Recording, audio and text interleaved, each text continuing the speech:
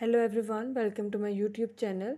In this video, I will show wallpaper change or set new wallpaper on Infinix Zero 40. Before starting this video, please subscribe to this channel.